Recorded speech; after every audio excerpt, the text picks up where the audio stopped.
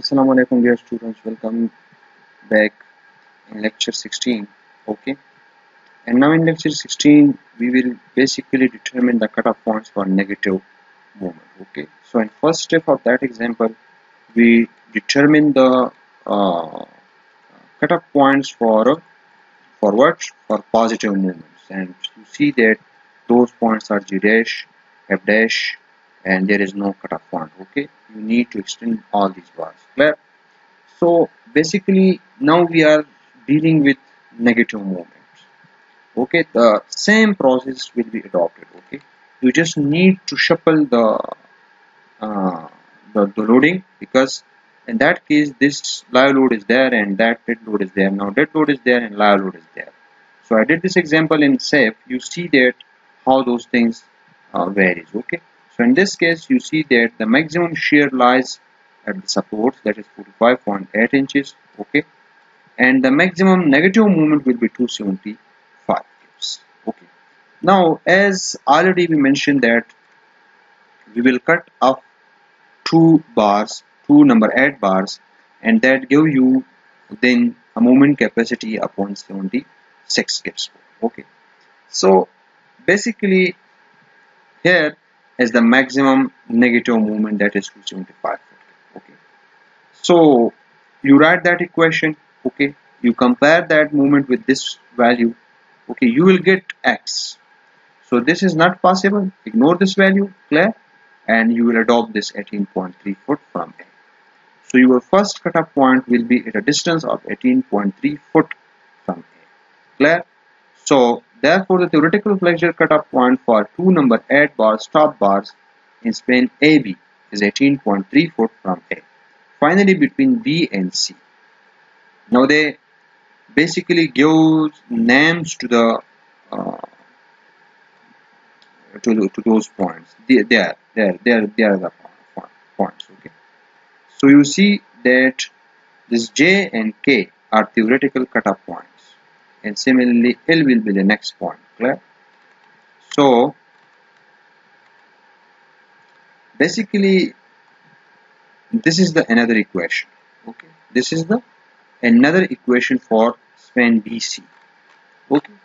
Now there is also because if you if you mark 176 you know so 176 will be there as well as 176 will be there okay so in between B and C, one cutoff point, and in between B and A, there is one cutoff point. So this cutoff point lies a distance of 18.3 inches. And you need to write another equation for this BC portion. Clear? You need here two equations. One equation is basically from, okay, for negative case, you need two equations. Clear? One is this one for this portion and one for this portion clear so this is simply supported beam case. Clear having a UDL which is you know 0.42 and this is support and there is live load. That is 3.82 okay. 3.82 so you you need to write because the moment equation is some some some somewhat like this. Clear the moment equation is somewhat like this. So this there is the maximum value clear? That is 17275 clear? So if you cut at the negative uh, reinforcement zone okay? So it comes out to be 176 where if you cut two number 8 bars and two number 9 bars will be continued. It will give you 176 moment capacity. So the so you write an equation at a distance of x. That equation will be as this is this reaction you will determine this reaction okay. And similarly uh, write an equation mu will be equals to 3.82 into x square divided by so compare this with 176 okay and just determine the this x value clear? So this x value from this equation will be here okay? That determine it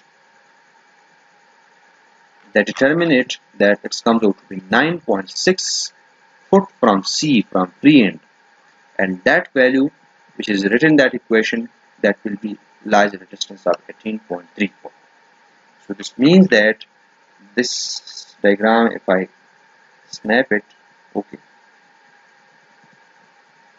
You see that this point which is right there lies at a distance of 18.3 inches. And similarly this is the another cutoff point it lies from the pre end a distance of 9.6 so what you did you you write two equation one equation for this portion and one equation for this portion. And you must know that there is this reaction is opposite. Okay this is downward and this reaction is upward. Clear? So basically you write uh, two equations clear so the locations of these two cutoff points are determined and you know those cutoff points are denoted by you know there are therefore and another you know there are there are four cutoff points okay four cutoff points the one is H the one is J the one is K the one is L okay so these four are the cutoff points okay there there is the flexure cutoff points for negative movement steel are shown in figure this and they are designated by J, H, J, K, M. Now first of all compute development length for the top bars. Now they are computing the development for the top bar. So same formula will be used but the factor will be changed 1.3 right? So for number 8 bar it will be 71 and for number 9 bar it will be 80.3 okay so only the case will be changed. There is top reinforcement and there positive region there will be bottom reinforcement. You see that this point j okay as this is the first theoretical point and this is the first second theoretical point we determine that this theoretical point from the equation it lies a distance of 18.26 and this theoretical point lies at a distance of 9.60 from this from equation okay? We determine these two values okay? Now how much this distance will be? okay 2.4 feet from where it comes okay? It is comes out from the support support center. Because from the center of the support the free end of the beam is lying at a distance of uh, lying at a distance of 12 feet so just only subtract 12 feet from 9.6 you will get 2.40 and similarly the center of the support lies a distance of 25 feet. So subtract 18.26 from 25 feet, you will get this distance. Clear? You will get because the, the total distance up to this point you know, from the center of this A point or from the support center is 25 feet. So subtract some, this this distance basically basically you just subtract that point you will get that uh, because you know this is the support center line this is the support center line and this is point J clear? So this is point J. Point J lies a distance of 18 point something distance clear and the distance between the two points is 25 feet. So how much this distance will be? Clear? This distance now for example just only subtract 18 from this value you will get this value. Clear? so 6.74 now these are just only the location. Now we will find out uh, the actual cutoff point of J actual cutoff point of K actual cutoff point of L actual cutoff point of H. Clear so look at the actual cutoff points for the negative moment reinforcement again the inner cutoff points will be considered first because their location affects the design of the other cutoff points outer cutoff points the choice of the actual cutoff points is illustrated in figure 833. Okay, you just need to find out first these interior cutoff points because it will affect the outer cutoff points. Okay, so first of all, they're locating J point. Clear? At J, uh, these are upper bars. You must know these are top bars. Clear? So basically, here you can see that uh, J dash must be extended away from the support. This is negative reinforcement. So you go away from the support, not toward the support. For a distance of 12 dB, or dB or ln divided by 16 what whatever the greater value will be that will be you know this is the controlling criteria 1.79 so just add up uh, 6.74 add 1.79 it give you the actual cutoff point j, j dash. Okay this is j and this is j dash. Prep. So now its total distance comes out from the support center. Just add 1.79 with this comings out to be 846 inches which is greater than LD if you check the development length of number 8 bar that comes out to be uh, 71.2 inches. And 8 foot 8 foot 6 inches is more than 71 inches clear? So this is clear okay. Now uh, for shear and for other anchorage of the negative moment T, the bar must extend only from the you know this bar basically these cut up bars this means that j dash must be lies at a distance of okay this is the maximum point. So j dash must be lies at a distance of LD clear? This distance must be LD and this criteria is satisfied because this is 71 inches and that comes out to be 846 inches which is more than this 71 inches. Clear? So anchorage criteria is now satisfied. Clear? Okay okay. Cut off two number 8 bars at 8 feet 6 inches from B. Okay that is G dash. Now the location of H. Okay H is the this point. Clear? So actually this is H. Now we extend it towards the support for a distance of 6 inches into the support. Okay, so H. 2 number 9 bars and the development length for this bars is I think so 80 inches. Okay, so anchorage criteria is satisfied. That don't you don't need to worry about that criteria. Okay, that is 80.3 inches. Length available 17 feet is available. No, this H is basically you know from J dash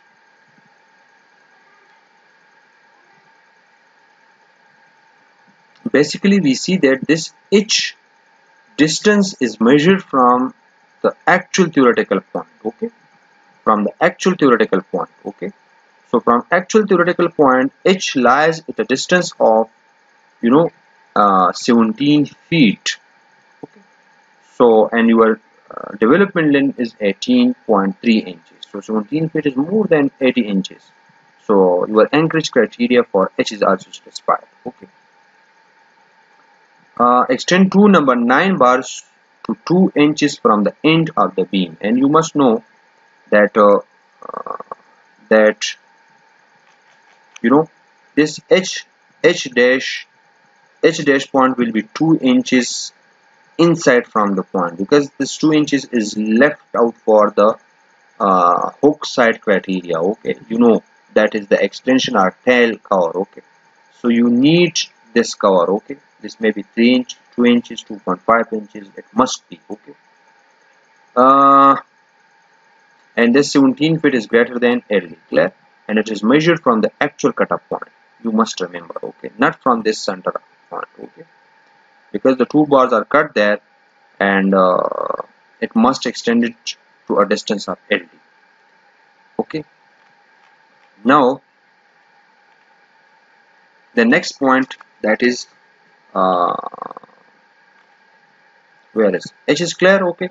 So now it is a cutoff point K okay? K is this one okay? So this K is lies the distance of 2.40 you first of all need to extend it away from the from this support for a distance of 12 dB or dB or ln by 16 so at 1.79 with this distance gives you how much distance? K dash first of all it extend for 1.79 okay. Comes out to be 4.19 foot. Clear? So it lies a distance of 4 feet 3 inches. Now you check it for anchorage criteria. Anchorage criteria means that whether the distance of K dash, whether the distance of K dash, okay, this K dash, you know, you must know that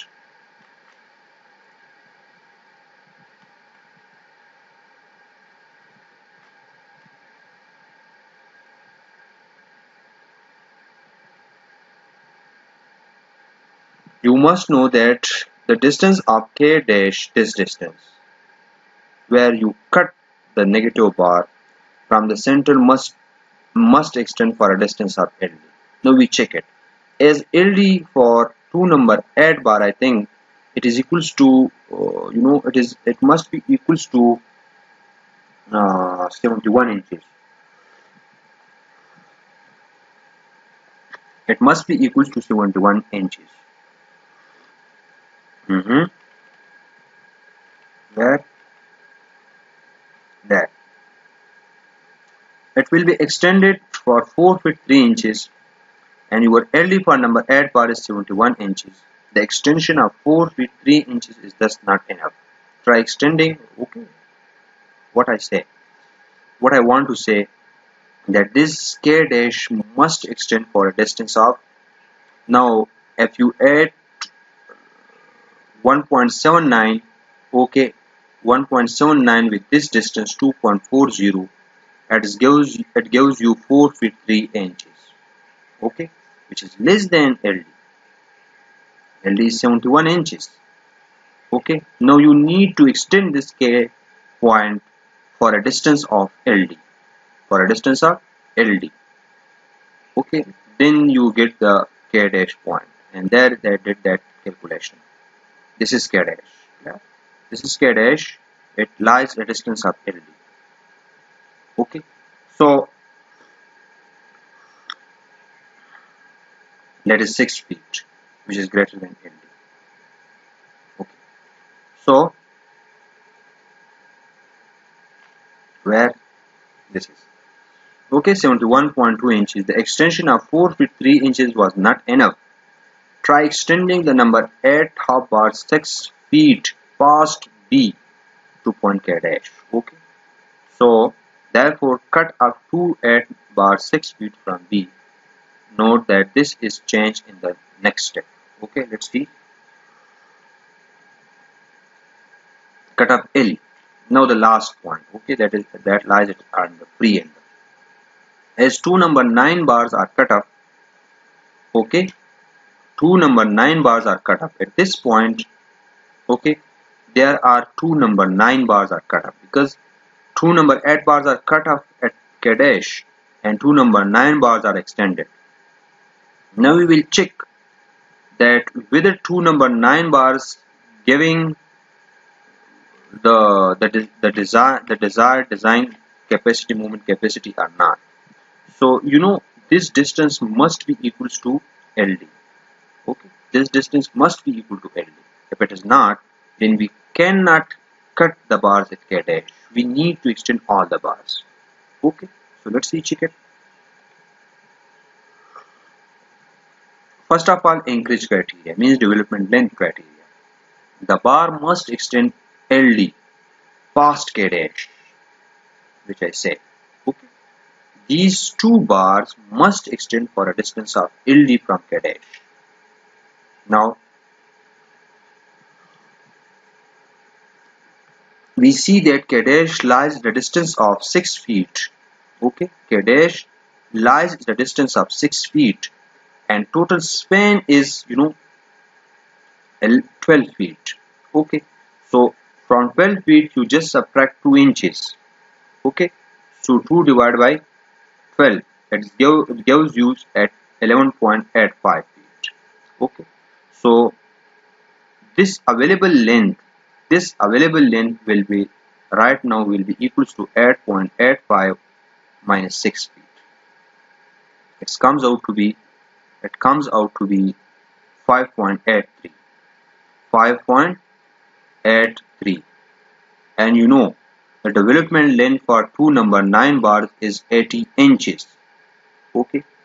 80 inches. And 80 inches is how much 80 divided by 12 that is 6.66 around that is that comes out to be 6.6 feet 8 inches. Now that is interesting. As the available length from K dash to L dash is 5.83 and the development length is 6 feet in 8 inches. This distance is how much? 5.83 and the development length is 6.66 inches. So the development length is uh, greater than the available length. That is 5.83 so therefore you cannot cut the bar at the dash. Or you can change the, the size of the bar. Either you can provide the hook or either you can continue the whole bars. Okay. So because the anchorage criteria is not satisfied this distance must be equals to LD or must be greater than LD and this is 5.83 which is less than LD okay? So you have three approaches. Either change the size of bar providing hook or either continue all the bars. So what they did basically two solutions are available. Either extend all the bars to the end of the beam or change the bar to 6 number 7 bars in two layers. Okay? And one thing uh, which I mentioned you wrong if you provide hook there it, it you know it do not work. Because your anchorage is there. The moment the the you know the failure mechanism of this overhang beam is there you can if you can see you know therefore you cannot provide hooks there. Okay. They they they they show you that there you can you have only two criteria. Because if you see that this beam will bend like this. Okay. So if you provide hook there it has no importance. No significance importance. This importance of hook is for overhang beam is right at the support. Okay. Because you know the bond the, the tension will be in this direction. So the bond force will be in this direction. Clear? And if you provide there hook so then bond will be in this direction. If you giving hook there it has no advantage. So you can at this point you have only two choices not three choices. Either change the bar size if you change the bar size it will decrease the development length. So that makes calculation a little bit complicated. You just need to continue the whole bars. That is a simple criteria. Okay? We shall do the former. The final actual cutoff points are shown in okay which is less than now. Two solutions are available. Either extend all the bars or either change the bars. So they did the former case. They extend all the bars. The final locations are shown there. Okay. This is the final location. You see this dotted line. They continue all the bars. Okay. So this will be the final points L dash, J dash and H dash. These are the final cutoff points for negative reinforcement. Clear? Now they check the shear criteria. Check whether extra stirrups are required at cutoffs or not.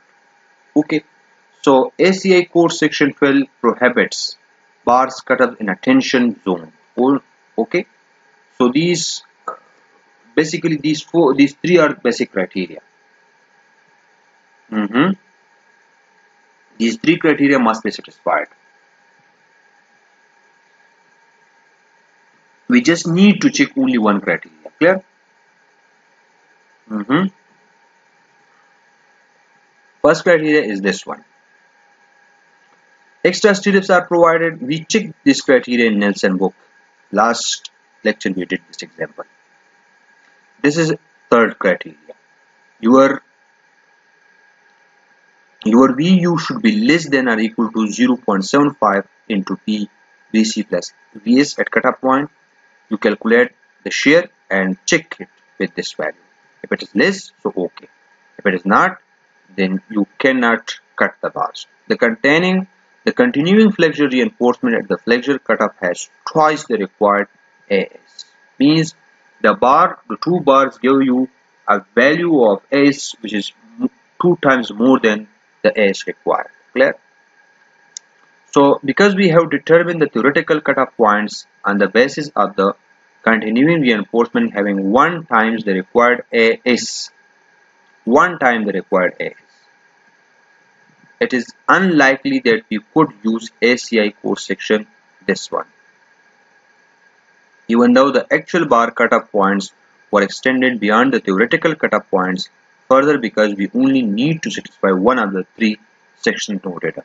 We will concentrate on satisfying ACI code section this this one this one they just now satisfying this criteria.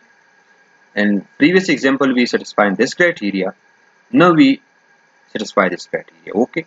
So to satisfy this criteria we need to calculate pi vn and pi vn is equals to pi vc plus vs this is the shear capacity of concrete and this is the shear capacity of stirrups. So this is the shear capacity of concrete and this is the shear capacity of stirrups you just remember you just need to revisit your shear design okay? From there you will see that vs you know this is a well-known criteria. Mm, formula vs equals to what? Uh, sorry your spacing equals to ab fy into d divided by vs okay this is a well-known formula in shear design clear? So this formula comes out from that shear design and this is for the shear capacity of concrete. You just need to put the values 0.7 p to lambda 1 3000 fc prime bw is 12 inches d is 21.5 inches effective depth av is 0.22 that is number 3 stirrup area. Fyt is 60000 d is 21 same thing and s is 10 inches it is given. Clear? So you get a value of 42.5 kips clear? And if you if you take the two-third of this value it will be 28.3 kips. So if VU at the actual cutoff point exceeds 28.3 kips we will need to modify the design for the stirrups to increase VS and thus VA okay. Now cut up at F dash you know in the positive tension zone okay? F dash. F dash is in the positive tension zone okay? There is. You see that this this is f dash and this e dash as well. So there we don't cut up bars so we need to check shear at this point f dash. We need to determine shear at this point okay? And this point you know it lies a distance of it lies a distance of 21 feet and 6 inches. So at 21 feet and 6 inches from shear diagram you determine the sh actual shear. And then we will check that shear with the uh, 2 by third of 5vn okay. Now once they determine that shear okay this value no this is this is the value okay from shear equation. We write at the beginning of lecture 14 this equation. This is the shear equation okay? We put that value 21 uh, 49 point this one and uh, 3.5 feet. It is from support B okay? You must know from support B that point F is lying at a distance of 3.58 but from support A that point F lies a distance of 21.5 feet. Clear so basically uh, what they did they determined 35.6 kips and you know this is exceeds from 28 feet.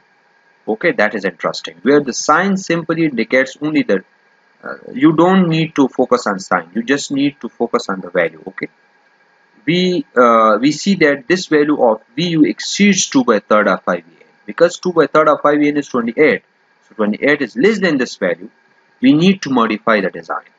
So we must either decrease the spacing for the number 3 stirrups or change to a larger stirrup. Okay we will try number 3 stirrup at a rate of 6 inches okay we need to modify the shear design. If we if we modify the shear design our shearing capacity will be increased. Okay you must your this value must be more than your VU value. Clear now you have to design in such a way that the coming value of 2 by third of 5En will be more than this value. So we cannot increase the sharing capacity of concrete. We will increase this value. and how we will increase increasing this vs and how we will increasing this vs we just only need to modify ab just changing from number 3 to number 4 so ab will be increased or just only change the spacing of stirrups we assume 10 inches. So here we will use 6 inches. So if we use 6 inches our vs will, will now comes out to be 47.3 if we putting the values you will get 37.8 kips so now it is more than 35 so just now you need to provide stirrups at a distance of 6 inch to center not at a distance of 10 inch to center clear? So this is the final design okay? This is the final design and uh, you know uh, yes. Uh, these stirrups you know these extra stirrups these extra stirrups should be provided in the region of F. Okay in F region okay. So this is the design you can see. This is the final design okay. If I this is the final design okay no cutoff point at E I already told you. Because the development length criteria is not fulfilled here. So they continue all the four bars. And here criteria at a criteria are met. So they cut two number 9 bars two number 8 bars. At that the distance of 3.5 inches foot. Okay 3 feet and 6 inches from the from the center of the support now uh, this this is the J dash point actual J dash point. And it must be cut up at a distance of 8 feet 6 inches. We derived this okay? And you don't need to cut any bars toward this side because the development length criteria here K dash. Now K dash is removed right? K dash is removed because the development criteria is not increase criteria is not fulfilled so they continue all the bars okay and similarly this is the H dash point. Yeah this is the H dash point. Okay? And extend all the bars for a distance of 6 inch into support. No hooks there. Okay? Because developmental criteria is fulfilled. This is the point cutoff points. Now comes to the shear criteria. So you need from from the center of the bars to this distance. Okay? To this distance you need to provide okay number 3 stirrup at the right of 10 inch center to center okay? Either to this side as well you know the the the this is the next point g dash yeah. This is the g dash point cutoff point okay? Which which is from the center of the point to this side is at a distance of 1 feet and 6 inches. You need to provide number 3 strip at rate of 10 inches center to center okay? Now this f dash is the critical zone because this this cutoff point f dash lies in a positive or tension uh, tension uh, zone. Okay this cutoff point. So whenever you are uh, discontinuing your bars in a tension zone you must need to satisfy your shear criteria. So as the shear criteria is not satisfied for that purpose we change you know the stirrup spacing so now from this point f dash you need to provide stirrups with some lower spacing and that will be 6 inches center to center so starts from 3 foot 6 inches. Place stirrups at a rate of 6 inches center to center for a distance of 5 feet 6 inches. So how much distance? Uh, subtract 3 feet 6 inches from 5 feet 6 inches. I think so it comes out to be uh, no you have to provide they provide the stirrups throughout this distance okay? Throughout this distance. In this region. For a distance of okay? For a distance of 5 feet 6 inches. This value exceeds VU where is the calculation? This one. You know? Now basically at the last we change the spacing of stirrups now for how much distance we will keep that uh, stirrups okay. So here they say this value exceeds VU so modified stirrup design is okay. This tighter tighter spacing should start at the cut-up points okay. Now almost it is not carried out. These these spacers uh, or stirrups are not starting from this point. It is usually provides from the cut-up point okay? And towards the positive maximum uh, tension positive moment okay? Towards that side okay? You must know. This is you know if you draw the moment diagram which is somewhat like this this shape so as this is the cut-up point okay? So you start stirrups from this cut-up points towards the maximum positive moment okay? You will place the stirrups rate of 10 inch 6 inches but they start the stirrup from this point. Okay you can do it okay. So they say there this tighter spacing should start at the cut-up point and extend at least a distance of d toward the maximum positive movement region. I already mentioned you. For simplicity use a 6 inch stirrup spacing from the center of the support b for a distance of 5 feet 6 inch toward mid-span of span. So they basically did for for the sake of simplicity you know. For the sake of simplicity they basically did that uh, that you must need to continue spacing from B with a 6 inch center to center uh, at for a distance of B you know. Cut up uh, the distance from the cut up point should be equals to d distance. This this this, distance must be equals to d distance clear? So we will extend from the cutup point at least equals to d distance clear? That comes out to be 5.5 in uh, okay. Now as j dash is also you know in tension zone okay?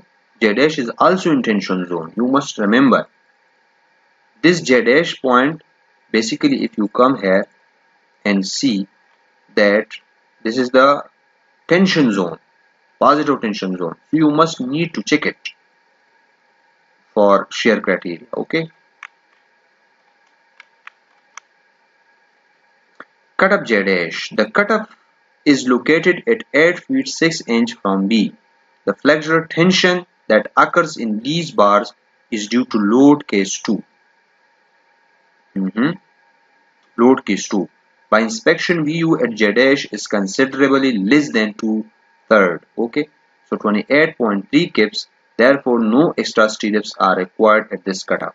The final reinforcement detail are shown in figure 834 for non-standard beams such as this one.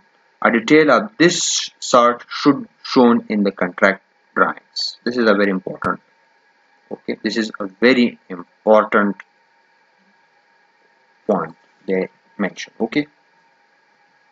Uh, this is you know this is a kind of beam which is you know which is uh, which is used unusually inside okay? Almost there is continuous beams okay?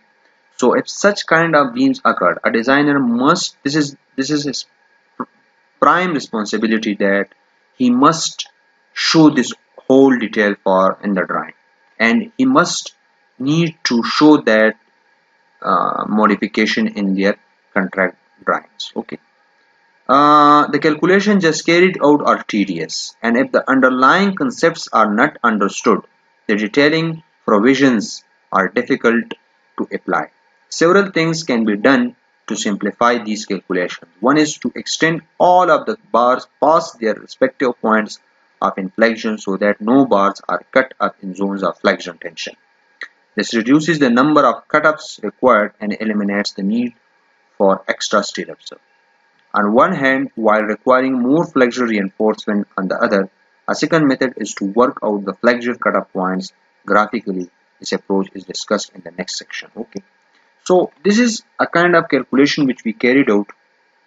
This this is a very lengthy calculation, you know, and very tedious calculation. So they're saying that almost there is no cutup points provided in a tension zone okay? They continue all the beam all the bars okay? To make the calculation more simple clear? So this is the example. We did almost all calculations okay? And uh, no this is the graphical method clear? This is the graphical method. I'm trying my best inshallah to explain this topic as well very uh, quickly okay. So there we will use inshallah graphs and through graphs we will determine okay the um, bar points okay cut up bar points but there are some kind of you know uh, splices details so left detailing so I try my best inshallah to code this uh, this example as well for the for your uh, for your sake of your understanding okay to to show you that how graphs are used and how continuous bar beams are handled okay this this is you show. This is continuous beam okay. So how we did these calculations and but and inshallah at this example we will end this chapter. So I think it is a very tedious calculation and uh, you know it is a very uh, very complicated calculation okay? So basically most of and this is the prime responsibility of all designers that uh, cut up points uh, left distances are splices. It should be shown in drawings okay? This is the responsibility of the uh, designer. It is not the responsibility of laborers that they will provide the bar cutoffs okay? So this is the responsibility of designer okay? So inshallah at this topic uh, I'm trying my best that I will uh, discuss you a little bit about this topic that what is splices and what is tension splices and what is compression splices. And inshallah then we come to this example okay? So for this time uh, up to this topic if you have any question any doubts you may ask okay? So thank you